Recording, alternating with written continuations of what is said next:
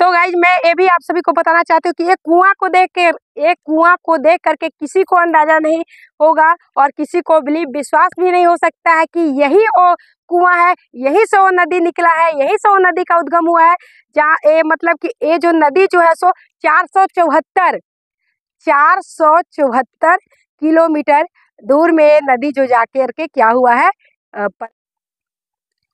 तो hello guys, रूपा block में आप सभी का स्वागत है। तो कैसे हैं? आप सभी उम्मीद करती हूँ कि आप सभी ठीक ठाक होंगे और ठीक नहीं होंगे तो मेरे भोले बाबा ज़रूर आप सभी को ठीक करेंगे। तो जैसा कि आप सभी जानते हैं कि अभी हम कहाँ हैं तो जी हाँ बिल्कुल।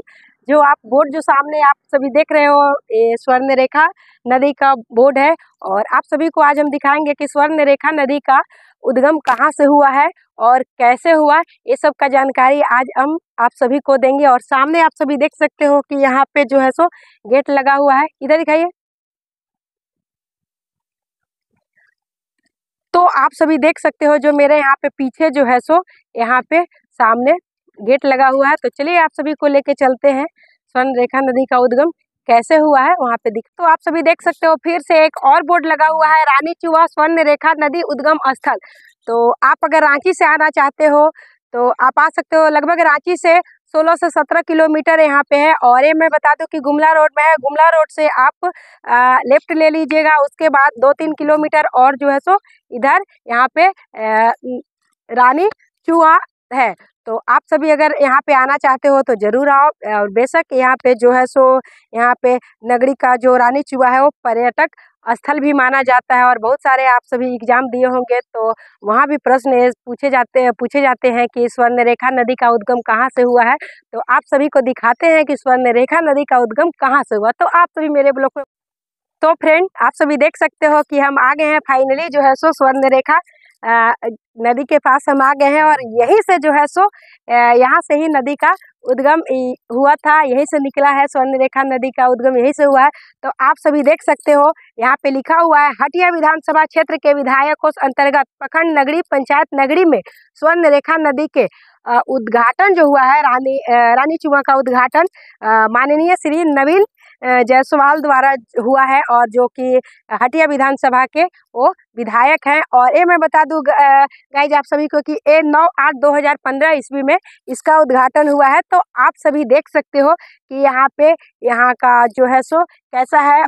तो आप सभी देख सकते हो गाइज़ ऐसे भी अभी तो गर्मी का दिन है, काफ़ी गर्मी है और मैं बता दूँ कि आज एक मई है और एक मई है और गर्मी कितना ज़्यादा लग रहा है, आप सभी तो जानते ही हो कि बहुत ज़्यादा गर्मी और ख़ास करके रांची में तो इतना ज़्यादा गर्मी है कि मैं क्या ही बोलो, क्या ही बोलूँ मैं जो है ये रानी चूहा के नाम से भी जाना जाता है स्वर्ण रेखा और मैं बता दूँ गाइज़ कि यहाँ से जो नदी एक कुआँ से जो पानी निकला है वो यहाँ से नगरी से होते हुए, पूरा झारखंड में होते हुए जाके उड़ीसा में गिरता है और उड़ीसा के बाद बंगाल के खाड़ी में जाके गिरता है और यहाँ से तीन नदियों का उद्गम हुआ है गाइज़, आप सभी को पता होगा। तो अच्छी बात है और नहीं भी होगा तो आप मेरे ब्लॉग के द्वारा आप जानोगे और मैं ये बता दूँ गाइज़ कि ये जो एग्ज़ाम देते होंगे पीजीटी ये सब सीटेट टेट, ये सब जो भी, जो एग्ज़ाम होता है उसमें भी ये नदी के बारे में पूछा जाता है कि स्वर्ण रेखा नदी का उद्गम कहाँ से हुआ है तो आप सभी वहाँ भी लिख सकते हो कि ए, ए, नगरी से इसका जो है सो उद्गम हुआ है और यहीं से जो है सो बंगाल की खाड़ी में जा कर के ये नदी गिरता है। और आप सभी और आप सभी को बता दूँ गाइज़ कि यहाँ पे प्राचीन मान्यताओं के अनुसार अनुसार ये बोला जाता है महाभारत में महाभारत में जो अर्जुन थे अर्जुन के तीर के द्वारा ऐसा बोला जाता है कि अर्जुन जो थे वो यहाँ पे तीर चलाए थे और उन्हीं का तीर के द्वारा जो था वो नीचे चलाया गया था और वहीं से यहाँ पे पानी जो है सो अपने तीन धाराएँ में पानी जो है सो उद्गम हो गई थी और तीनों जो है सो नदी के रूप में स्थान एक कुआँ का रूप में फिर बाद में बना दिया गया। और आप सभी देख सकते हो ऐसे तो गर्मी के दिन में बहुत सारा जो है सो कुआँ आदि सूख जाता है पर आप सभी यहाँ पे एकदम देख सकते हो एकदम कैमरा इधर लाइए।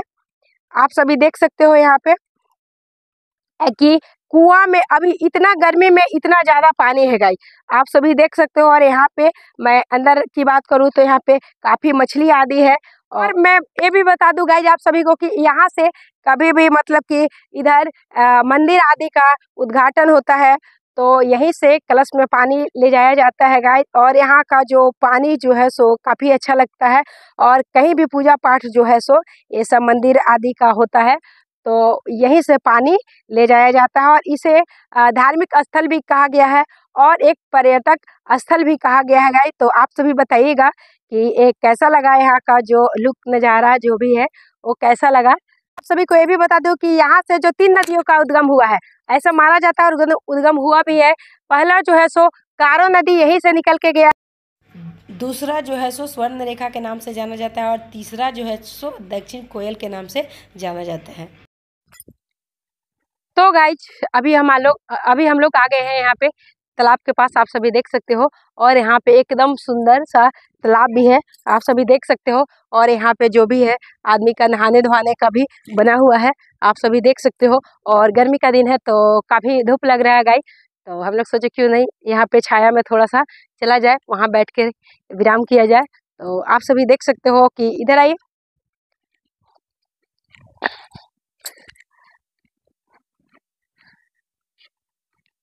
तो आप तो आप सभी देख सकते हो कि यहाँ का नज़ारा जो है सो तालाब तालाब बहुत अच्छा है और यहाँ पे चारों तरफ़ है। उधर पीछे बहुत लोग नहा भी रहे हैं, आप सभी देख सकते हो। और यहाँ पे यहाँ पे जो है सो पूजा पाठ आदि यहाँ तालाब में भी होता है और जो भी है, आप सभी देख सकते हो। बहुत अच्छा लगा यहाँ का नज़ारा और आप सभी कमेंट करके बतलाना गाइस कि कैसा है। यहाँ पे आप सभी देख सकते हो, पीपल का भी पेड़ है। इधर आइए।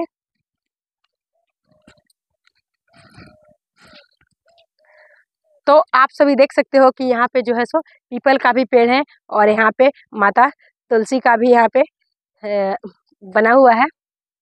और उधर भगवान जी भी है, उधर मंदिर भी है छोटा सा तो आप सभी को कैसा लगा? बहुत अच्छा नज़ारा है यहाँ का। तो ऐसे भी गर्मी के दिन के लिए बहुत अच्छा है, ऐसे कोई भी दिन के लिए बहुत ही अच्छा है। तो आप सभी देख सकते हो और यहाँ पे जैसा कि हम अभी देख रहे हैं यहाँ पे पूजा पाठ का कलश आदि यहाँ पे जो है सो तो गाइज़ आप सभी देख सकते हो यहाँ पे जो है सो आ, मंदिर भी है और मंदिर जो है सो मंदिर में ताला बंद है तो आप सभी को मैं नहीं दिखा सकती हूँ अंदर का जो भी है। अंदर में भगवान को, मैं भगवान जी को नहीं दिखा सकती हूँ क्योंकि ताला बंद है। और मैं एक आज मैं बता दूँ कि यहाँ पे चौदह जनवरी के दिन बहुत ही खास मेला लगता है। तो आप सभी अगर रांची से हो या रांची के आसपास जगह से हो तो आप ज़रूर एक बार आओ या आप दूसरे शहर से भी हो। तो आप ज़रूर एक बार आओ। ऐसे भी नगरी का जो है सो चौदह तारीख का चौदह जनवरी का मेला जो है सो बहुत ही खास है और यहाँ से बहुत दूर दूर से लोग आते हैं गाई तो आप सभी देख सकते हो और मैं आप सभी को बता दूँ कि यही वो जगह है, यहाँ पे चौदह जनवरी के दिन मेला लगता है। पूजा पाठ आदि मंदिर में होता है गाइज़ और यहाँ पे जो ये जगह है, यहाँ पे आप सभी देख सकते हो यहीं पे मेला लगता है और गर्मी जो है सो बहुत तेज है और उधर में आप उधर जो है सो फूल पत्ती है, आप सभी देख सकते हो। और बजरंग बली का ये सब झंडा उंडा है और यहाँ पे तुलसी महारानी है। आप सभी देख सकते हो गाइज़ और पीपल आदि का पेड़ है। और बस, बने रहिए गाइज़ मेरे ब्लॉक में। तो गाइज़ आप सभी देख सकते हो कि अब जो है सो हम थक गए हैं और यहाँ पे आप सभी देख सकते हो कि विश्राम करने का जगह है। यहाँ पे आप अगर थक गए हो तो विश्राम कर सकते हो और उधर भी है विश्राम करने के लिए जगह। आप उधर कैमरा करके दिखा सकते हो। उधर दिखाइए। उधर आप हाँ ठीक है। तो उधर मतलब कि चारों तरफ़ गाय जो है सो बैठने का यहाँ पे यहाँ पे जो है सो स्पेस है और पानी का भी व्यवस्था है गाय अगर आप सभी को पानी प्यास भी लगा है तो आप पानी भी पी सकते हो और और फ़िलहाल क्या बोले लोग?